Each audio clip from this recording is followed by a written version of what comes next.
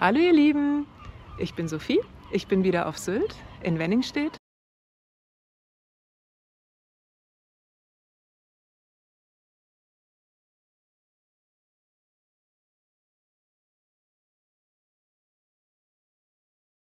Mit mir ist gerade Axel, Axel Link. Und Axel hat mich gerade interviewt für seinen wundervollen Fernsehsender Sylt 1. Es war mir eine Ehre. Gerne. Ich habe es auch gerne gemacht. War auch sehr, sehr interessant.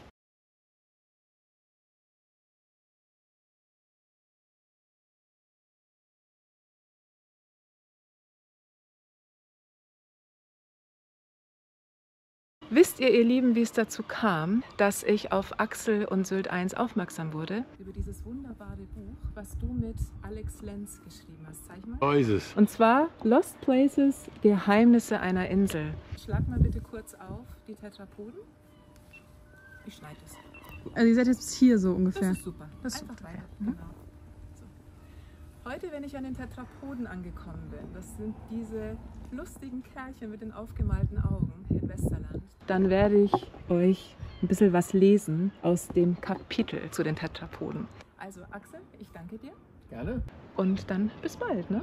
Ja, wünsche dir viel, viel Glück. Wir haben wunderbares Wetter jetzt bekommen. Unser Interview war eben noch in der Sonne. Beim Wandern ist Sonne ja wahrscheinlich gar nicht so gut. Viel Glück.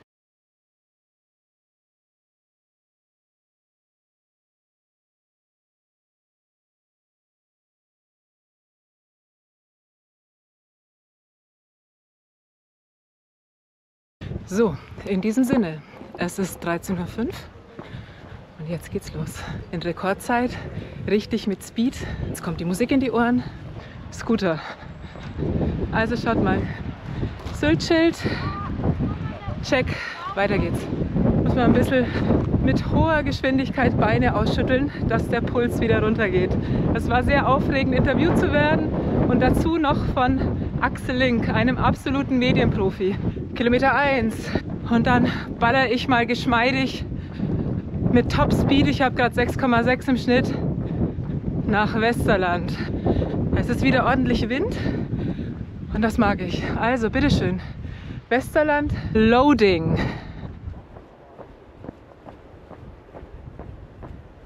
Und weil ich dieses Mal bei meinem Sylt-Besuch nicht Sylt-Resident bin, sondern Nibel-Resident, geht es jetzt gleich hier zum Heisel und ich kaufe mir einen Tag Strandeintritt. Drei, vier Euro sind das so. Schauen wir mal.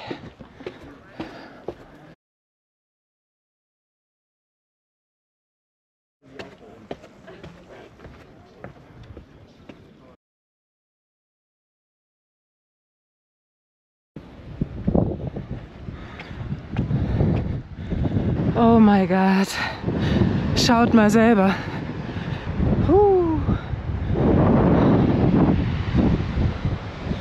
Das Meer hinter mir. Bitteschön. Jetzt gehen wir mal ein paar Leute erschrecken. Weil die sehr langsam unterwegs sind und ich nicht. Und immer wenn dann jemand so herangeballert kommt, wie ich, da sind die immer so, was passiert da? Liebe Freunde, ich komme in Frieden. Alles gut.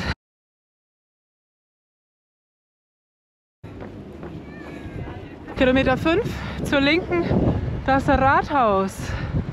Menschenansammlung.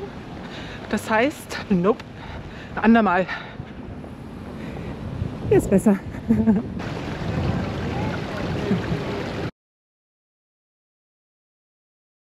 Schaut mal bitte, was ich hier Feines gefunden habe. Buchhandlung an der Wilhelmine. Mercedes-Benz Parking Only. So, immer noch Kilometer 5 am Bahnhof Westerland hinter mir. Und wir haben hier die reisenden Riesen. Wenn ihr meinen letzten Film angeschaut habt, den 101er,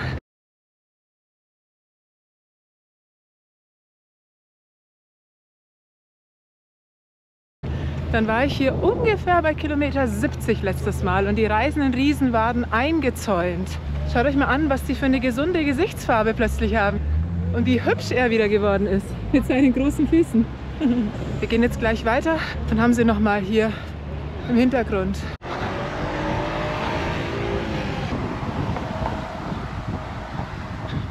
So, und hinein ins Südwäldchen.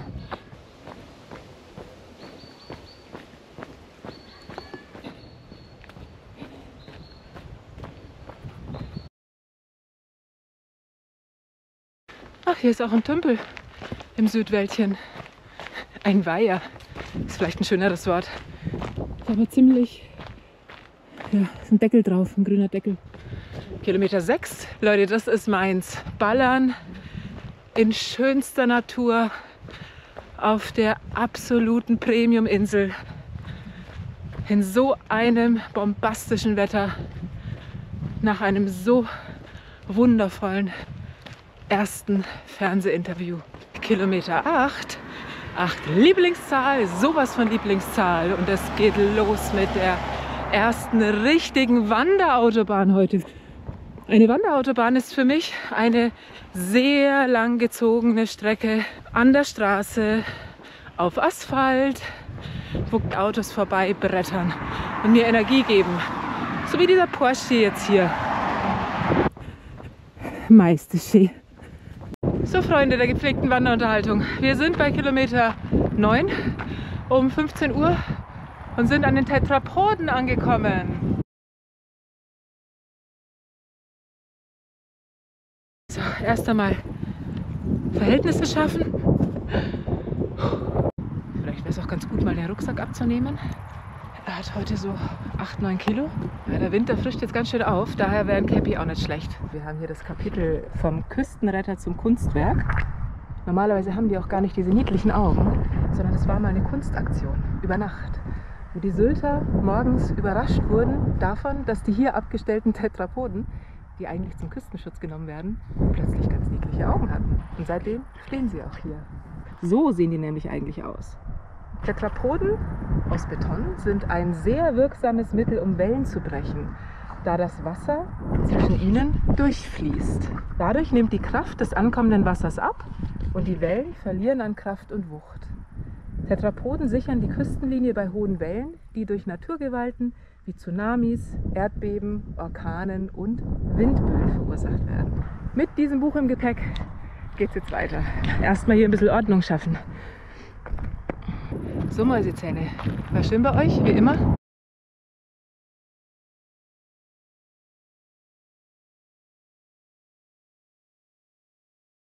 Weiter geht's.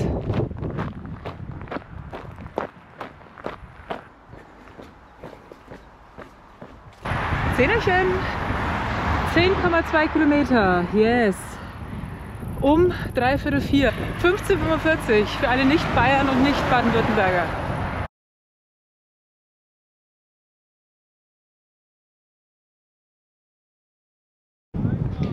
Ich hätte große Lust, hier jetzt links abzubiegen und Richtung Rantumbecken direkt zu gehen. Aber nein, erstmal Hörnum. Das ist jetzt der Plan. Daher wird es noch sehr lange, sehr geradeaus gehen. Das ist der erste Tetrapode dort, den ich ohne Augen sehe. So, hier haben wir ihn. Bitte schön.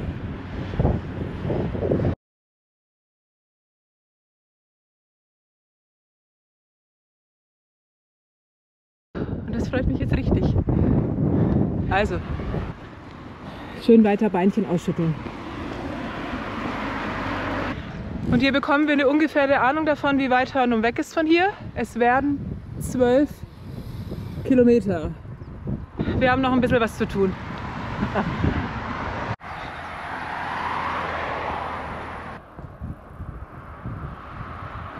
Da drüben ist das Meer. Das Meer.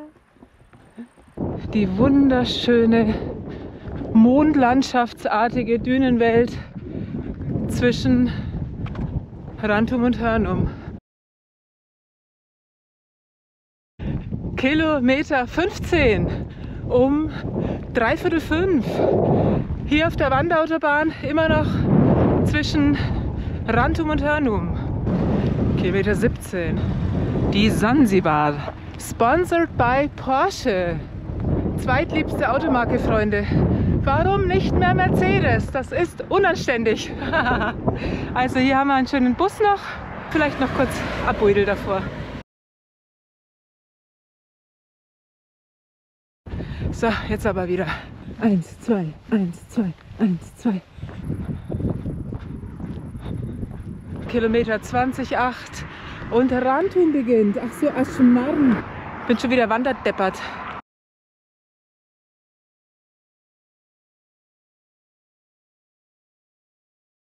Also, Hörnum haben wir es jetzt. Es ist heute so hell, obwohl es gerade schattig ist. Ah, sehr schön, so geht das. Und weiter. Hier ist der Syltbus. Alright, Halbmarathon um dreiviertel sechs, 17.45 Puh, so. Mit einem Schnitt von 6,4.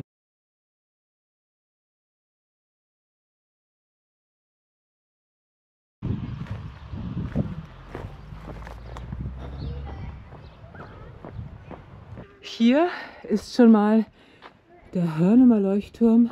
Wahrscheinlich aus Holz. Aber wie? Und da vorne, zwischen den Häusern, sehe ich ihn schon in echt. Es wird, Freunde, es wird. Haha.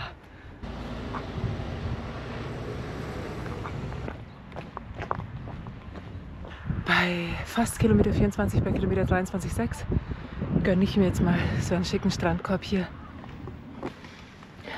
Gutes bayerisches Wasser. Jetzt da, da sehe ich ihn. Den Leuchtturm.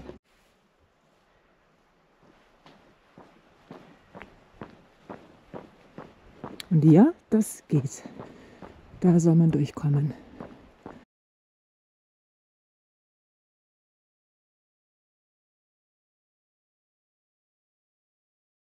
Melanie hat mich gesehen, auf Facebook war das, Genau. oder? Wo ich was gepostet habe, diesen 101er, dass du, ne? Ja, genau. Du hast mich gerade gefragt, warum ich das mache, ne? Ja. So ganz genau weiß ich das manchmal selber nicht. Aber tatsächlich, um mich herauszufordern. Ich liebe das. Wenn ich mich herausfordere, dann geht es mir gut. Wir haben ja alle etwas, was wir gern haben, ne? Ja, Was das wär's bei dir? Was hast du gern? Das Meer. Ah, das Meer. Ja.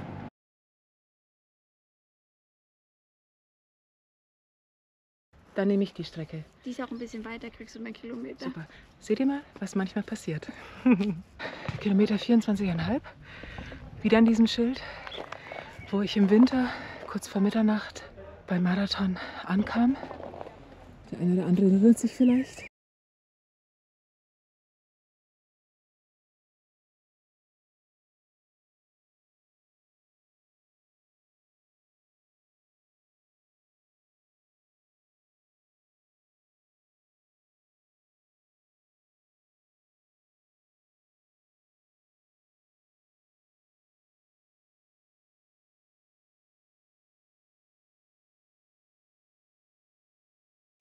Am Strand von Hörnum. Beautiful. Mit Trampolins. Ah, ich müsste über die Dünen.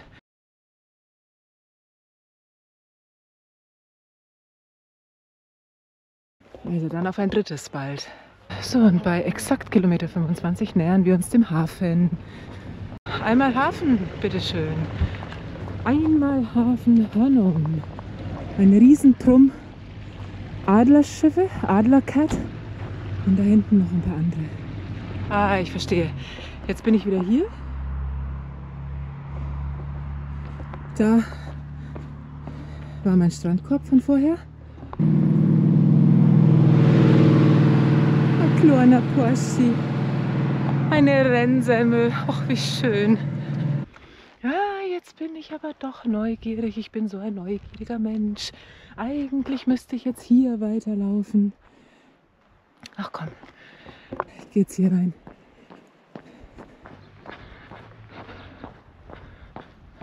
Die haben irgendwie was Schwedisches, finde ich. Ich bin gerade ein bisschen im Blindflug. Jetzt schauen wir mal, ob es da vorne weitergeht oder nicht. Jawohl. Läuft. Ah! Jetzt formt sich wieder eine Landkarte im Hirn. Eine weitere. Ja, ja, dann sind wir wieder an der Hauptstraße.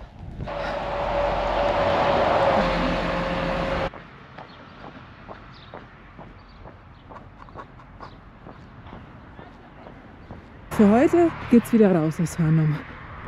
Fünf Städte heim. Na schau. So, und um kurz vor dreiviertel acht 1945 ist Hörnum schon wieder Geschichte für den heutigen Tag. So, so schön.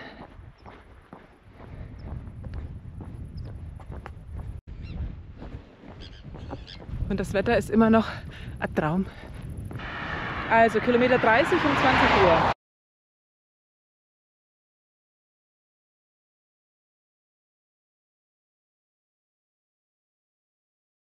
Boah, ich habe mich gerade so aufgeregt. Ich habe mich so aufgeregt.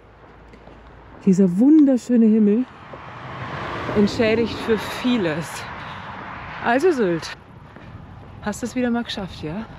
Für den Moment hast du mich bezwungen. Für heute. But I'll be back. Das ist wirklich der Fall bei den Ultrawanderungen, dass man mit allen Emotionen umgehen muss. Muss man klarkommen. Hilft ja nicht. So, da vorne ist eine Bushaltestelle. Jetzt schauen wir mal, wann da was fährt. Da kommt der Bus. Ich habe gerade gedrückt hier. Und da kommt der Bus. Und er muss jetzt anhalten. Yes! Und jetzt schaffe ich den Bus. Oh Gott, das ist so schön. Ich sag's euch. Ich hätte es ja nicht gedacht, dass ich den noch schaffe. Nur weil ich die geschissene Ampel gedrückt habe. Bei 8% noch. Ich könnte jetzt keine Fahrkarte mehr zeigen, weil die Fahrkarte ist auf dem Handy. Oh boy.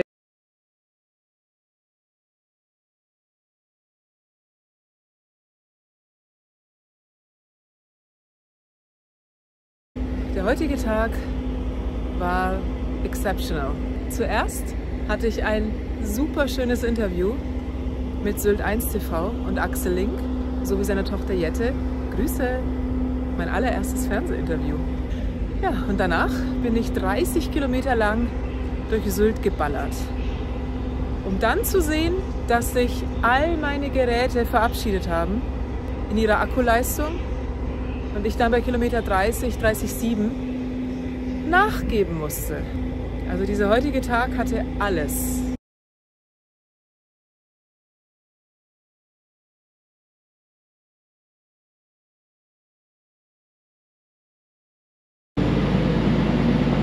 Jetzt gehen wir mal da rein. Schön, dass ihr dabei wart. Bis nächstes Mal. Ade. Sylt. I'll be back. Na?